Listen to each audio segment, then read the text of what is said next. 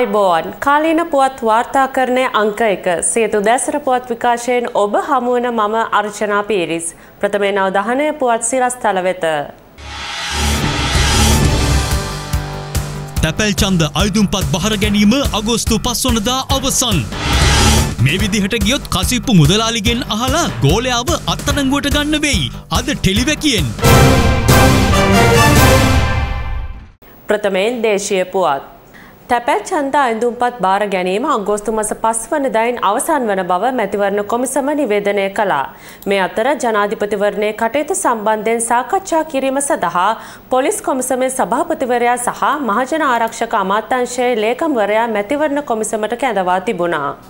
දෙදහස් විසි හතර ජනාධිපතිවරණයට ඇත්තේ තවත් දින පනස් හතරක් පමණයි. ඒ අනුව ඊට අදාළ තැපැල් චන්ද අයිදුම්පත් බහර ගැනීම අගෝස්තු පස්වනදායින් අවසන් වන බවයි මැතිවරණ කොමිසම නිවේදනය කළේ. තැපැල් චන්ද ඉල්ලුම් කිරීම සඳහා සුදුසුකම් සපුරා ඇති සියලු දෙනාගේම අයිදුම්පත් අගෝස්තු පස්වන දින හෝ එදිනට පෙර අදාළ දිස්ත්‍රික් තේරීම් භාර නිලධහරින් වෙත ලැබිය යුතු බවද එම නිවේදනයේ වැඩිදුරටත් සඳහන්. තැපැල් චන්ද දිනය ප්‍රකාශයට පත් කළ පසු එම චන්දපත්‍රිකා අඩංගු රක්ෂිත පැකොට්ටු අදාළ තේරීම් භාර නිලධහරින් මගින් දිස්ත්‍රික්කවලදී භාර ගැනීම සඳහා විශේෂ වැඩපිරිවෙලක් යොදන බවයි තැපැල් දෙපාර්තමේන්තුව පවසන්නේ. තැපැල් චන්ද දිනය ප්‍රකාශයට පත් කරාට පසුව තැපැල් චන්ද පත්‍රිකාව අඩංගු රක්ෂිත පැකැට්ටු ඒ තේරීම් භාර නිලධාරීන් මගින් දිස්ත්‍රික්කවලදී බාර ගැනීමේ කටයුතු සඳහා විශේෂ වැඩපිළිවෙලක් යොදන්නට ඒ සඳහා අදාළ කටයුතු ඒ පළාත්බද්ධ නියෝජ්‍ය තැපැල්පතිවරුත් ප්‍රාදේශීය තැපැල් අධිකාරිවරුත් ඒකාබද්ධව සංවිධානය කරાવી නිල ඡන්ද දැන්වීම පත්‍රිකාව දැහැරීමේ කටයුතුත් අප වෙත දැනුම් දුව වහාම ඉටු කිරීමට අවශ්‍ය කටයුතු සූදානම් කරලා තියෙනවා. වියදම් ඇස්තමේන්තු අපි කල් වෙලා තුම ලබා දීලා තියෙනවා. විශේෂයෙන්ම මැතිවරණ කොමිෂන් සභාවත් සමග පැවති සාකච්ඡා සාකච්ඡාවෙන් අනතුරුව ඒ වියදම් ලේඛනය අපි ඇස්තමේන්තුවක් විදිහට යවලා තියෙනවා. අපි පුරෝකතනයන් ඔස්සේ තමයි ඒ වියදම් ලේඛනය ලබා දීලා තියෙන්නේ. ග්‍රාම නිලධාරීන්ට සේවා ව්‍යවස්ථාව නොලැබුණත් ග්‍රාම නිලධාරීන්ගේ දීමනාව වැඩි නොකලත් ග්‍රාම නිලධාරීන් අකුරට වැඩ කිරීම සිදු කරත් ග්‍රාම නිලධාරීන් නියත වශයෙන්ම සැප්තැම්බර් මාසේ 21 වෙනිදා පවස්වන ජනාධිපතිවරණයේදී ග්‍රාම නිලධාරීන් තමන්ගේ මැතිවරණ රාජකාරී ඉටු කරනවා කියන එක මේ මොහොතේ මතක් කිරීම කරනවා. ග්‍රාම නිලධාරීවරුන් තමන්ගේ රාජකාරී මැතිවරණයට පෙරත් මැතිවරණයට පසුවත් මැතිවරණ රාජකාරී පැය 24 පුරාම සිදු කරනවා කියන එක මේ මොහොතේදී අපි බොහොම පැහැදිලිව ප්‍රකාශ කරනවා. මේ අතර ජනාධිපතිවරණය සම්බන්ධයෙන් සාකච්ඡා කිරීම සඳහා ආරක්ෂකාංශ ප්‍රධානීන් පිරිසක් අද මැතිවරණ කොමිසමට කැඳවා තිබුණා. මහජන ආරක්ෂක අමාත්‍යංශයේ ලේකම්වරයා සහ පොලිස් කොමිසමේ සභාපතිවරයාද අද දින කැඳ වූ බවයි මැතිවරණ කොමිසමේ සභාපති RMAL රත්නායක සියතප කළ විමසීමකදී සඳහන් කළේ.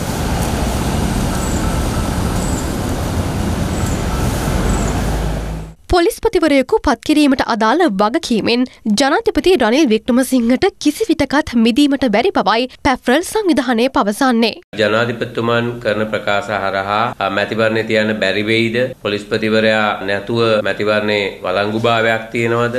නැත්නම් පොලිසිය ආරක්ෂාව ලබා ගන්න එක බාධාවක්ද වැනි කාරණා පිළිබඳව බරපතල සැකසංකාවක් සමාජයේ මතුවෙමින් තිබෙනවා. වැඩ බලන පොලිස්පතිවරයෙක් පත්කිරීමේ වගකීමෙන් ජනාධිපතිතුමා මගහැර යනවා. ඔහු දැනට අපේක්ෂකෙක් නිසා ඒක ඒක කරන්න බෑ ඒ සම්බන්ධයෙන් ඡන්ද පෙස්සම් එල්ල වෙන්න පුළුවන් කියලා. නමුත් ව්‍යවස්ථාවේ ජනාධිපතිවරයා මැතිවරණය පවත්වලා නව ජනාධිපතිවරයෙක් තෝරාපත් කරගන්න තෙක් ජනාධිපති ධූරයට අදාළ සියලු වගකීම් ජනාධිපතිවරයා දැරිය යුතු වෙනවා. දැන් පළමුවෙනි වතාවෙම ගිහිල්ලා අප තැන්පත් කරලා මේ හරහා බතු කරන්න උත්සාහ කරන්නේ පොලිස්පතිවරයා මැතිවරණ ක්‍රියාවලියට සම්බන්ධ වෙන කෙනෙක්. ඒකට ඔහු පත් කිරීමට හැකියාවක් නැහැ කියලා. වගකීම් යුතු රාජ්‍ය නායකයෙක් නම් ඔහු ධූරයේ දරන තාක්කල් ඒ ධූරයට අදාළ අදාළ වගකීම් ඉෂ්ට කිරීම එතුමාගේ වගකීමක්. එසේම දිස්ත්‍රික් තේරීම් භාර නිලධහරින්ද ලබන සෙනසුරාදා මැතිවරණ කොමිසම හමුවට කැඳවා තිබෙනවා. ඉදිරි ජනාධිපතිවරණයේ කටයුතු සම්බන්ධයෙන් එහිදී දීර්ඝ වශයෙන් සාකච්ඡාවට ලක්වනු ඇති බවයි වාර්තා වන්නේ.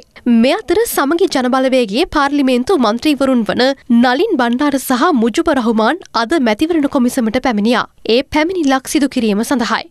ජනාධිපතිවරයා අප තැන්පත් කරලා ඉවරයි. හැබැයි විපක්ෂ 나යකවරු තාම අප තැන්පත් කරලා නැහැ. දැන් අද දිනේ අම්පාර දිස්ත්‍රික්කයේ සුහුරු පන්ති කාමර පාසල් 8කට ලබා දෙන්න නියමිතව තිබුණා. හැබැයි ජනාධිපතිවරයා ආණ්ඩුව අධ්‍යාපන අමාත්‍යාංශය හරහා ඒ සියලුම සුහුරු පන්ති කාමර නතර කරලා තිනවා. ඒ නීතිය අප තැන්පත් කරපු නැති සජිත් එහෙමයි අප තැන්පත් කරපු රනිල් වික්‍රමසිංහ ගිහිල්ලා අපි ඊයේත් දැක්කා හෝමාගමද කොහෙද රාජකීය විද්‍යාලයේ පොඩි දරුවෝ ගෙනල්ලා එක එක දේවල් දෙනවා. නිසා අපි මැතිවරණ කොමිසමෙන් ඉල්ලන්නේ වහාම රජය විසින් ක්‍රියාත්මක කරන මේ මැතිවරණය ඉලක්ක කරගත් නොයෙක් බඩු බෙදිලි නොයෙක් ප්‍රවර්ධන කටයුතු නොයෙක් ආකාරයෙන් රාජ්‍ය යාන්ත්‍රණය යොදලා යොදා ගන්නා මැතිවරණ ප්‍රචාරණ කටයුතු වහාම නතර කරන්න කියලා නියෝගයක් ලබා දෙන්න කියලා. මොකද ජනාධිපතිවරයාට එක හැන්දෙකුණුයි අනිත් අයට තව හැන්දකුණු බෙදන්ඩ විදිහක් නෑ අපිට පේනවා මැතිවරණය පටන් ගන්න කලින්ම ජනාධිපතිතුමා අද වෙනකොට මැතිවරණ නීතිරීති උල්ලංඝනය කරමින් වැඩ කරනවා. ඒහින්ද සාධාරණ මැතිවරණයක් පිළිබඳව තිබෙන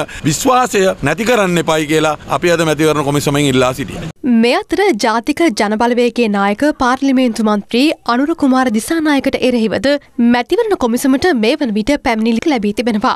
මේ අතර මෞබිම ජනතා පක්ෂයද ඉදිරි මැතිවරණ සඳහා සර්ව ජනබල ලෙස සඳහනගත වී ඉදිරිපත් වන බවයි එහි මහලේකම් රංජන් සෙනවිරත්න පවසන්නේ. අපි ගොඩක් වැඩකටතු කරගෙන යනවා. ඉතින් අපි දැනට අපේ පක්ෂය සහ අපේ සර්වජන සන්ධානය අතර ලොකු සාකච්ඡාවක් වෙනවා. අපි ඉතින් ඉදිරියට ඔබතුමල්ලට අපි ආරාධන කරන්න. දැන් කවදද මේ ඔබතුමාල අපේක්ෂකය දැනුම් දෙන්න? මට ඒක දිනයක් දැනට කියන්න බැහැ නමුත් අපිතම සතියකින් විතර වගේ අපි සරෝජන බල විදිහට තමයි ඉදිරි මැතිවරණට ඉදිරිපත් වෙන්නේ. අපි ඒගෙන ඔබතුමල්ලට දැනුම් දෙන්නම්. බොහෝ විට ලබන සඳුද වෙනකොට මං හිතන්නේ අපිට තීරණයක් දෙන්න පුළුවන්. දැන් කෙට්විරාමයක් ජනාධිපති රනිල් තමයි.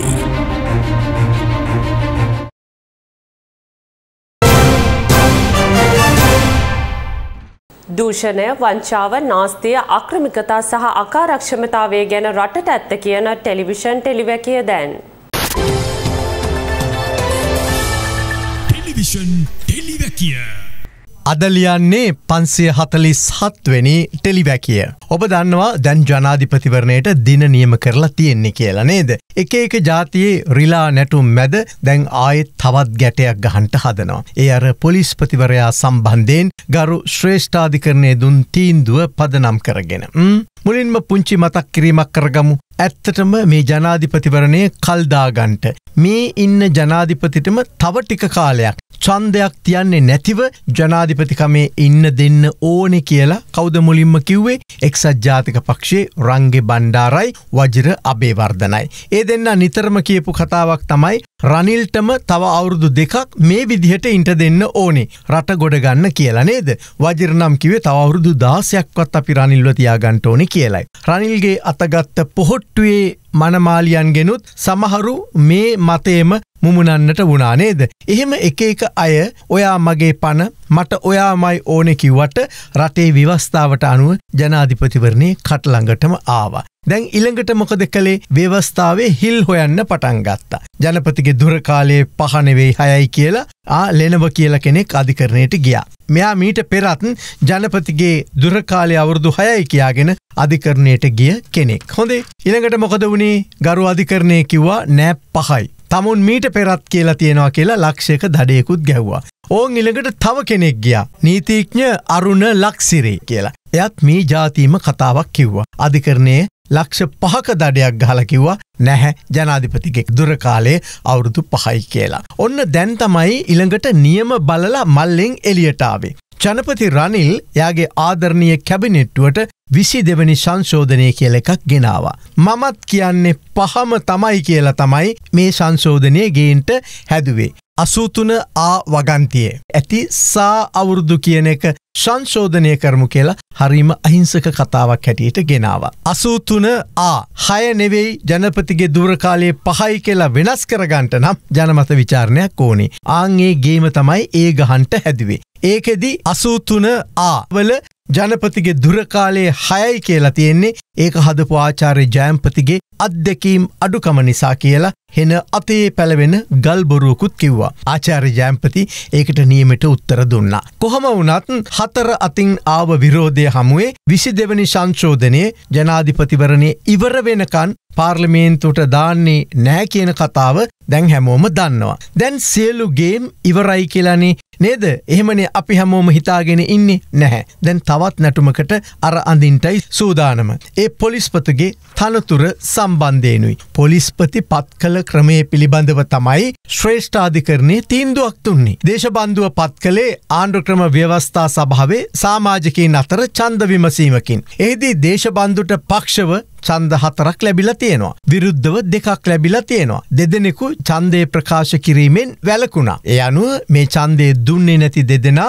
විරුද්ධව ඡන්දය දුන්න කියලා නිගමනය කළ කතානායක තම තීරක ඡන්දය දේශබන්දුට දුන්නා. ඕක තමයි වුණේ. දැන් මේ පත්කිරීමට එරහිව පෙත්සම් නමයක් ගරු ශ්‍රේෂ්ඨාධිකරණයට ඉදිරිපත් වුණා. ඒ පෙත්සම් සලකා බැලූ ශ්‍රේෂ්ඨාධිකරණය දේශබන්ධු දෙන්නකෝන් පොලිස්පති දුරෙහි කටයුතු කිරීම වලක්වාලමින් නියෝගයක් නිකුත් කලා. පෙත්සම් විභාගයට ප්‍රබල නිමිත්තක් අධිකරණය හමුවේ ඇති බව තමයි ශ්‍රේෂ්ඨාධිකරණය තීන්දු කරලා තියෙන්නේ. දැන් වග උත්තරකරුවන් කවුද කතානායක මහින්දයාප අභේවර්ධනයි දේශබන්ධ දෙන්න කෝනුයි. දැ මේ දෙන්නට එරහිව නඩු විභාගයක් පවත්වන්න අධිකරණය තීන්දු කල්ලා තියෙනවා. නඩු විභාගෙන් පස්සෙ තීන්දුවේවි පොලිස්පති පත්කරප එක හරියටම හර්ද වැරදිද කියලා. හරිද ඒ අනුව පොලිස්පති වෙනුවට මේ නඩුව විභාග වෙනකන් වැඩබල්න කෙනෙකු පත්කරන්ට කියලා අධිකරණය නියම කලා වැඩබල්න පොලිස්පතිවරයෙකු නේද. නමුත් රනිල් වික්‍රමසිංහ දැන්කුමක්ද කියන්නේ ඔහු කියනවා ශ්‍රේෂ්ඨාධිකරණයේ මේ තීන්දුව නිසා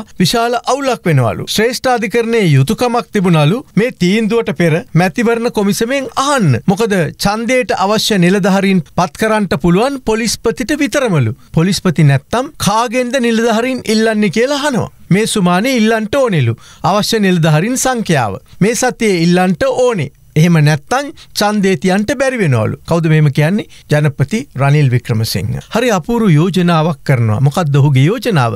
කතානායකයි අග්‍රවිනිශ්්‍යකාර්තුමයි කතා කරලා මේ ප්‍රශ්නය විසඳ ගන්ටලු. හොඳේ මේ නඩුවේ එක වග උත්තරකරුවෙකු වනුවේ කතානායක මහින්දයාප අබේවර්ධන. වග උත්තරකරුවෙකු එක්ක මේ විදිහට අගවිනිසුරට කතා කරන්නට කියලා යෝජනා කරන්නේ මොන පදනමින්ද මොන පදනමින්ද. ඇ එක එක ජාතියේ හත්තර බීරි කතා නැතුව. පාර්ලිමේන්තුවයි ගරු අධිකරණයයි අතර දිගින් දිගටම සැලසුම් සහගතව ගැටුම් නිර්මාණය කරන්නේ නැතිව වැඩබල්ල පොලිස්පති කෙනෙකු පත් කරලා චන්දේතියන්ට හොඳේ මීට පෙරත් පොලිස්පති නැතිව එහෙම මැතිවරණ පවත්වල තියෙනවා. ඒ අමතක් කරන්නට එපා කියලා ටෙලිවැකිය අද මතක් කරන්නේ දෙදස් දහනමේදීත් වැඩබල්ල පොලිස්පති කෙනෙකු යටතේ මැතිවරණය පැවත්වූ බව හොඳට සිහිේතියා ගන්ට කියලයි.